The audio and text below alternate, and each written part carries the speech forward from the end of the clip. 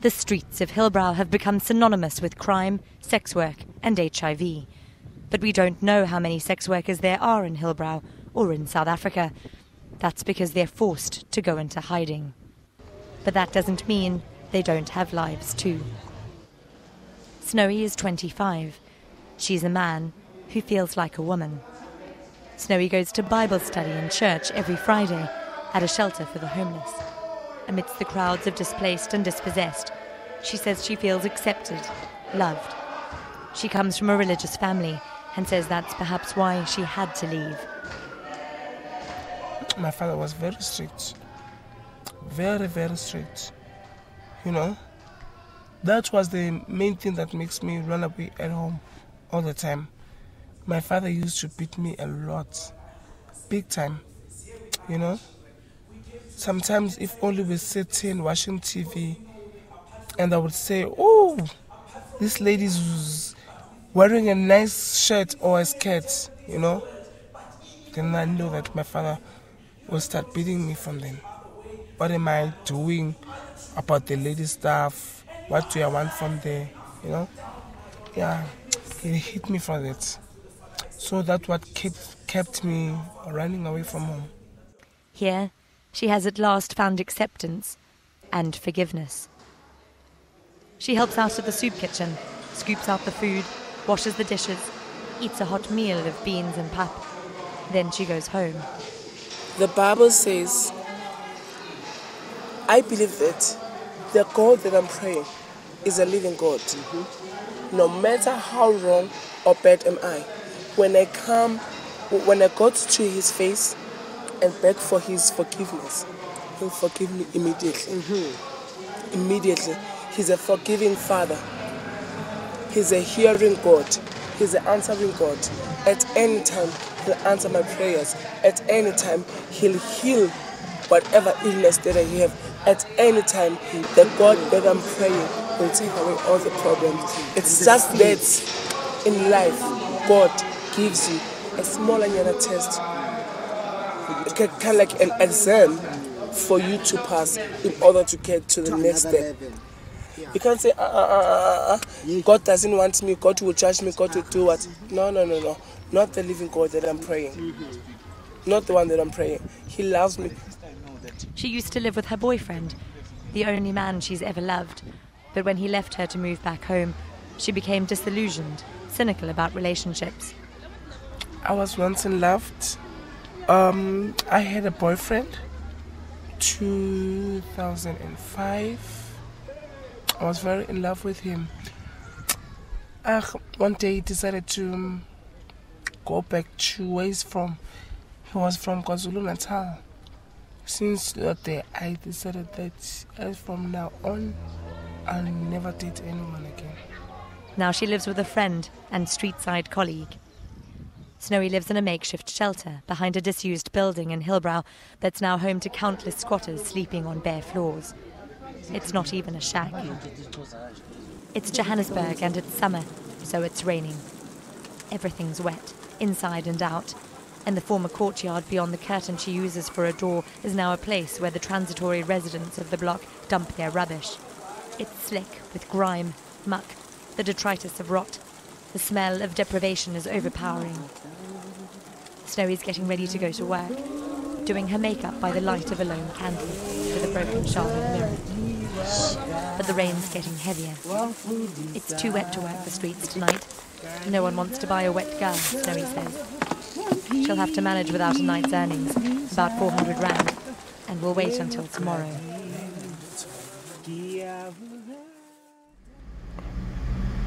It's windy on Oxford Road and cold. Snowy pastes on a smile and goes to work. I used to go to the clubs, get people to propose and buy me booze, take me home. Then the next day, he chased me. So then, I decided people who buy me booze, they shouldn't. They should give me money. I give them all they want. Then I bounce. That's when I started to do my business. I started by myself, and I never wanted anyone to know that I was a sex worker. I would go to a shipeno club or tavern, sit by my booze, make few dance move. I know that each and every guy will pay attention onto me. Then I sit down, they come, they start proposing. I say, uh, uh, I do not do, I love you. Let's speak in terms of money and business. How much do you have? Then he said, I have, I have this much. Okay, it's fine. Let's go. On the passage, I do my quick business. I come back, I get the next client. That is how I used to make money. And buy myself clothes, you know. She says sometimes she has eggs and cleaning products thrown at her by disgruntled wives from the safety of their luxury cars. And when the police come looking, she has to run. Snowy was recently diagnosed with HIV. She got tested because she was raped by a client, a serial rapist who targets male sex workers, who took her to a field, stripped her naked, and left her there. He took me to that open field he um, commanded me to strip naked. So I did everything that he wanted me to do in order not for him to harm me more or think of killing me. You know, I did everything that he commanded. I stripped off my clothes. I left them inside the car. We went outside the car. That's when he started raping me and beating me up repeatedly without condom. Uh, and then he left me there on that open field. Now she's on antiretrovirals, eight pills a day, taken promptly at half past seven in the evening. When she was diagnosed with HIV, she found out she also had herpes, a sexually transmitted disease, but she couldn't go home, so she asked the clinic for help. I asked her if many sex workers get diseases from clients. Yes, yes, yes, yes. Cause um, and most of them they do not talk. Um, because sometimes you find clients that will say to you, um, let's not use a condom, I'll pay this much. I mean, um, a bigger money than what we usually charge, you know? And if I'm desperately, I'm desperate and it's one o'clock, definitely sure I will take it. Gerrit Moritz is an HIV program officer at the United Nations Population Fund. He's been researching the lives of sex workers in South Africa for several years, and he says it's difficult for them to access healthcare because of the stigma involved. Gerrit says they're often turned away at clinics and made fun of when they report sexual violence. Being turned away by those you're asking for help, now that's something Snowy can testify to. I called the police, I take his number with me, they went and arrested him. After the arrest him, he was released uh, after two days or so. Yes, then uh, my case didn't even went to court because um, um, what's this? Um, the senior prosecutor of Hillbrow Court told me that he ain't gonna proceed with the case, ain't gonna prosecute the guy because I'm a sex worker and sex working in South Africa is illegal. All the charges of assault, robbery, kidnapping, and rape were dropped. Gerrit believes it's time for the government to decriminalise sex work, even if it's just to fight the stigma. Well, a sex worker is not an entity that's or a person that's isolated from family, from community. Um, you know, a sex worker needs uh, and has the right to be loved uh, they have partners, they have sexual partners outside of what their working environment uh, entails.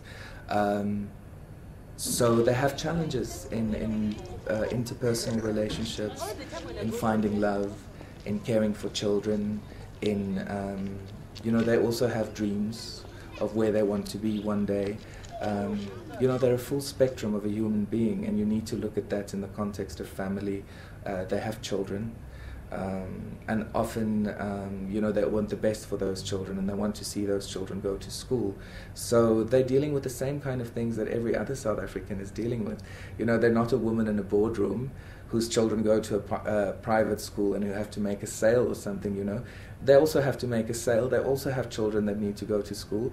They have to balance uh, their budgets. And they need to do that within a protective environment. They need to do that knowing that they can access health services if they need, that their children can access education without uh, any form of discrimination. So, you know, there's a life being lived there and a life that needs to be protected. And we need to do that within a human rights uh, approach. Snowy does her best to support the rest of her family. Her mother is dead, and so are her two oldest siblings. She was close to her older sister, and she misses her. She's the one who knew what I was doing here, bro. But ever since I got to Jozi, I never laid down or give up on life. I always wanted something that will make me somebody one day. You know? And I went through a lot. But I love home. She tries to bring clothes and money for her niece and nephew whenever she goes back to her township in Springs. She's teaching the two little ones how to sing and dance. And she misses the reassurance of home. Each homecoming is precious. Because this is a place where this is a place where I get a peace of mind. Sleeping without thinking of money. Sleeping without thinking where am I gonna get the next plate? Sleeping not worrying if um a police gonna come in with the rubber bullets, sleeping without thinking I should go out and make money, clients and everything, you know? She's popular in this neighborhood. Her friends say they worry about her. She's a friend. We love okay, her. move and uh, we uh, know exactly yes. what she's doing, so we just Yes. wonder. On, So most is of she us, okay we haven't or- went where she's living. We don't know what's going on there. Mm, just She hear come here her. telling us what This happened, and this, this this, and and that. We always pray for her. That we When she's around, we then we know, oh, everything is okay. But when she's not around, I wonder We worry because we know that the work that she's doing is very Yeah, it's dangerous. dangerous. You experience very, uh, you know, a lot of things. a lot of things. Yeah. This isn't the life she pictured for herself. This isn't what she chose. Snowy says she wants to come home for good. But for now, life is about survival. Nastasya Tay, Eyewitness News.